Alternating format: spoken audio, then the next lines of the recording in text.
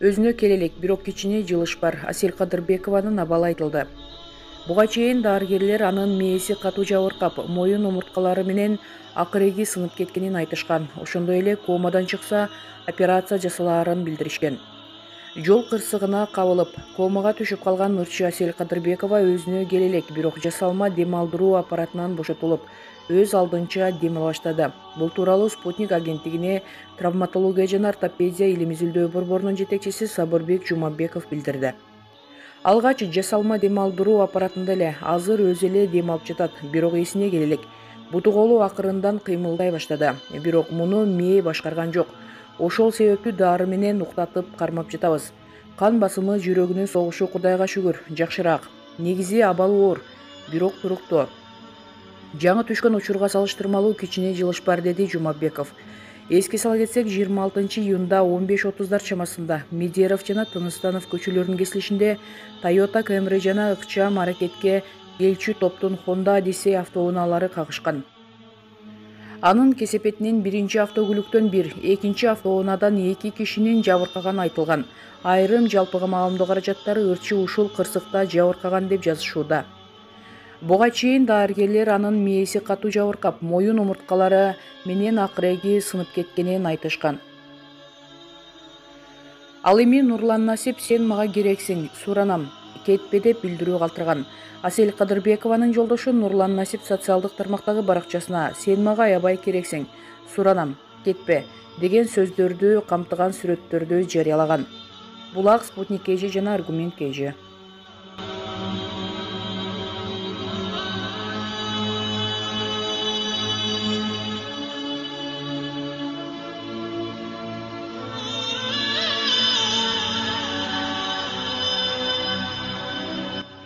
нурлан насиптин эжеси элзада менин эркек келиним көзүңдү ачып мурункудай күлүп чуркап жашоого кайт нурлан насиптин эжеси элзада насипбекова социалдык баракчасына келини асель кадырбекованын айыгып кетишин тиленип отурушканын жазып чыкты менин эң назик катуу сүйлөбөгөн адамга жамандыгы жок эркек келиним кагылып кетейин жаным. Эки күндөн бери сенин аман болушуңду тиленип отурабыз дарыяны куса кылбай нурланды томсортпой кудагыйды ыйлатпай баарыбыз үчүн көзүңдү ачып мурункудай күлүп чуркап жашоого кайт.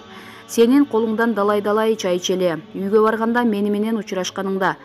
Эже сонун жыттанасыз го деп тосуп алчу элең дагы далай ошентип тосуп аласың буйруса. Сен өтө күчтүүсүң.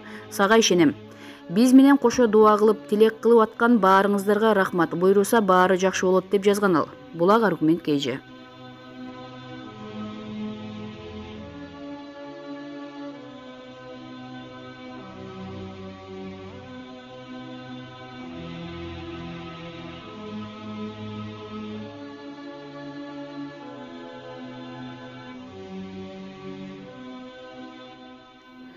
кудурет тайчабаров асель ойгон нурлан экөөңөрдүн ыр диалогуңар бүтө элек асель жаша.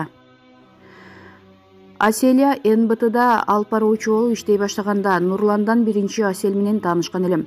Жердеш акем экенсиз деп бир тууган акесиндей мамиле кылып кээде тамашалап кудурет байке мага баланча тийишип атат урушуп коюңузчу деп калчу эле. Кийин чыгармачылык нурлан менен тааныштырып экөө кыз жигит экенин билгем. Ортодо таарыныша кетишкенде кыйналып жүргөм көп адам маани бербейт бирок экөөнүн ырлары сүйүүдөгү диалог экенин байкасаңар болот. Ал нерсени мен шүмшүк экөөнү билгизбей жаза берчүмүн. Мисалы таттуу махабатым деген ыр аселге арналганын асель бал таттуу экенин байкаган адамдар түшүнөт. Башканы жаным дебе деген аселдин ыры нурлан экөө таарынышып жүргөндө жазылган. Асель кудурет мага темасы жакпай атат десе болбой хит болот. Ырдай бер деп кыйнап эле ырдатып салгам. Анын жаңы ыры чыкса баары бир нурлан угуп көрөт да башканы жаным дебе деп мага айтып атат деп ойгонот. Ойлонот деген максат бар эле.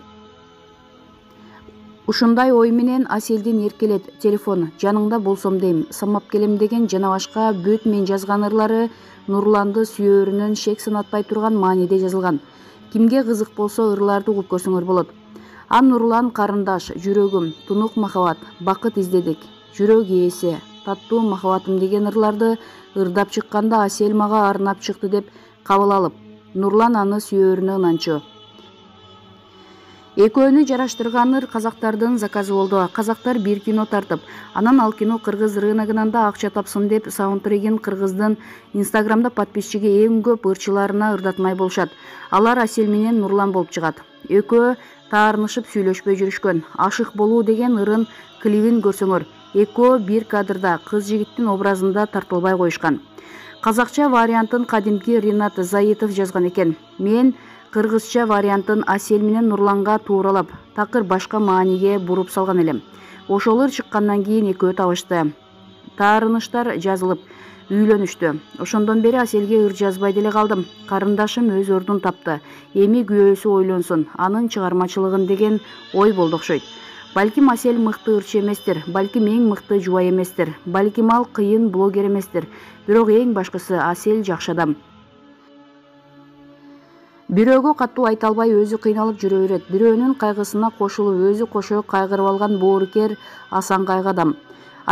Бир адам экенин далилдеген окуяны айтып берейин мен автокурсукка кабылып моралдык жактан да материалдык жактан да өтө кыйналып калдым бир күн асель чалып калды кудурет байке каяктасыз сизге жолугуп кетейин дедим эле деди келип бир белек салчу кагаз баштыкка белек менен кошо конверт берди кудурет байке сиз мага өмүр бою жардам бердиңиз сиз кыйналганда мен жардам бере албай атканыма кыйналып атам азыраак болсо да кабыл алып коюңузчу дейт аселя мен кыз баладан жардам ала албайм мен анчалык кыйналган жокмун финансовый проблема это расходы эң башкысы мен аман калдым дедим мен сиздин карындашыңызмын го сиз мени колдогондо мен отказ кылбай. Анан мен сизге ответ кылсам ушинтип коесузбу деп болбой конвертин берип кетти. Бул сумма өтө аз. Чын айтам. Кудай турат. Эгер колуман канчалык жардам келсе баарын бермекмин деп от души айтып кетти. Асель кеткенден кийин ичин ачсам беш жүз доллар экен. Беш жүз доллар кирешеси жок бойдок кыз үчүн өтө көп болчу ал кезде инстаграмдан акча тапмай жок тойлорго чыкмай жок эле. Көзүмө жаш тегеренип бир чети ыраазы болуп бир чети ачуум келип. Ыраазы болгонум ошол акчага асель акыркы үлгүдөгү телефон алып алса болот эле. Телефону жөнөкөйрөөк эле. Ачуум келгени ушул кыз баланын колдоосуна муктаж болуп калганым. Андан катуу тийгени өмүрүмдө канча адамга пайдам тийсе да ушул тырнактай кызчалык жүрөк ыраазы боло тургандай ответка кыла алышпаганы болду. Себеби асель колунда болгон капиталынын баарын берип атканы бир бөйрөгүн берип ийгендей эле сезим калтырды. Эми ушул жүрөгү тоодой карындашым кырсыкка кабылып эки дүйнө ортосунда турганын угуп көзгө жаш тегеренип жардам бере албашыма көзүм жетип туталанып турган чагым. Учурда аселдин тагдырын акча чечпейт аллах чече турган болуп атат. Урматтуу достор сиздерден бир сураныч. Намаз окуп дуба кылаарда менин бир өтүнүчүмдү эстеп асель айыгып кетишин жараткандан сурап бата кылып коесуздар жамаат менен тиленген баталар кудай жолунда жүргөн адамдардын батасы кабыл болооруна ишенем. Асель сен жашашың керек дарыя үчүн жаша. Нурлан армандуу ырларды ырдап калбаш үчүн жаша.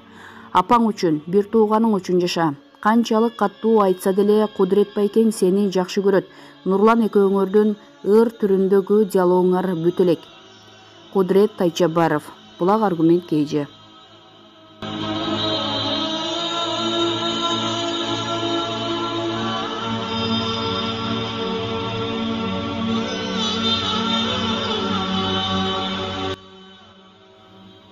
белгилүү кинорежиссер бакыт карагулов каза болду. Кыргыз эл артисти белгилүү кинорежиссер бакыт карагулов жетимиш жашында каза болгону айтылды.